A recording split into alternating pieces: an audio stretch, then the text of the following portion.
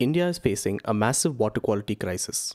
Millions are being exposed to man made and naturally occurring contamination in their drinking and ambient water. However, it is difficult to address these problems without understanding them, and we currently lack the right tools to quantify the extent of these issues. Foundation for Environmental Monitoring is addressing this by developing tools for accurate, affordable, and rapid water quality measurement.